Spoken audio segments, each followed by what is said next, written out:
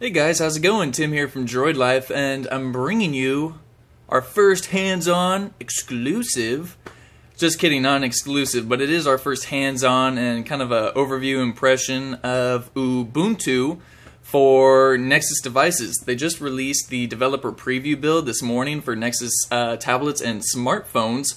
Um, unfortunately, it's not available for Toro Verizon Galaxy Nexus users, but you know, because it's the stepchild. But anyways, I have it booted up here on my Nexus 10.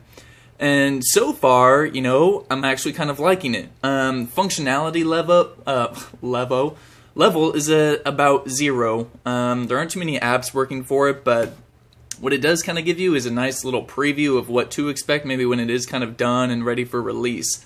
Um, they have stated that they're kind of expecting a real release to happen around early 2014 and it's February of 2013 currently, so we have a little bit of ways to go. But either way, here it is. Um, when you first boot it up, I, I booted two zips through a custom recovery, and this is what uh, you're greeted with. So basically, you can see like you can have multiple user accounts on it, and the lock screen is actually pretty nice. Um, it just kind of gives you i had to obviously it's asking for passwords and i don't have a password for any of these people so i just use the guest account tap to unlock and then you're greeted with the ubuntu touch os home. And so it kind of gives you a list of apps up here your favorite people that you're following. It's pretty nice actually. And um, then down here people recently in touch it shows you know has a lot of integration with social networking like Facebook, for example, and it shows their phone numbers and all that good stuff. But of course, you know, none of it's really working. It's just kind of like showing off what it will be like. Um, you have your recent music, videos that are popular online, and um, yeah. So basically, well, here I'll go back over. So down here in the bottom, it kind of shows what you have. You have your people, you have your music, and then, oops, your home, and then your apps. Go up. And then your videos. And then over here, I mean, it's it's nice and smooth. You can kind of go through, see what's happening, new movies, online videos that are popular. You can tap on each like individual movie. It'll bring up info, and then you can rent or buy straight from Amazon. But of course, that is non-working. It's just kind of just a preview, like I mentioned. So not too not too much functionality. And then say we go back over here to apps. Still kind of learning how to like work this thing. It's kind of when you're sliding back and forth, it's a little hiccupy. So you got some apps over here, but all of them are not working currently. So we have what is kind of working though is the browser. So I guess if you only want something that takes pictures and is a browser, this is for you. Um, the URL is down at the bottom, which is different from Android. It's kind of annoying at first, but it goes. And then to kind of get back, I noticed that there was like no back button, so you swipe down from the bottom left, bring up a little search thing, and then you can X out and go back to your home and all of that.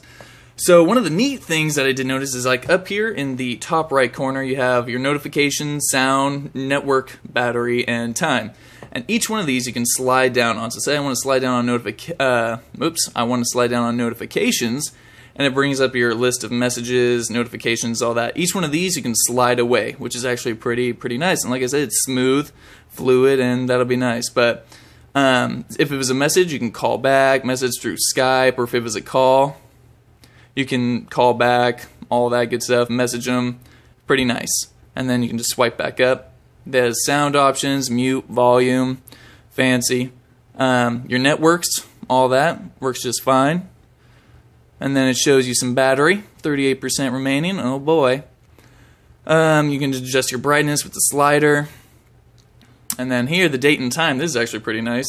Um, it's got that famous old Ubuntu look. Um, calendar down here with upcoming events, all that fun stuff. Other than that, uh, the camera app is working. Um, seems, you know, to be just fine. You can take pictures and all that fun stuff. And then again, I mean, to get out, you have to slide up and get to this little search bar. And then from there, you can have your recent apps or just back out of it completely and go back to home. Um, really, I mean, you know, it's just a preview build, so there's not much to show off currently. Um, but it is neat. It's very nice. Um, developers will start getting their hands on it, and we can expect to see kind of more stuff come from it. But until then, yeah, there's not too much to show. I kind of wish that there was more, you know, unique stuff to show off, but you know, it's it's just a very early build.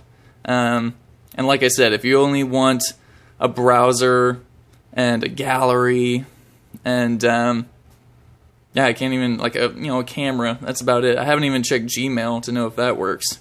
I'll check it for you. Yep, yep. Looks like that's gonna work for you. Oh, one thing I did notice to say. Okay, God, it's such a pain to just go back. Slide up. Maybe not. Well, maybe. Maybe I'm stuck on Gmail now.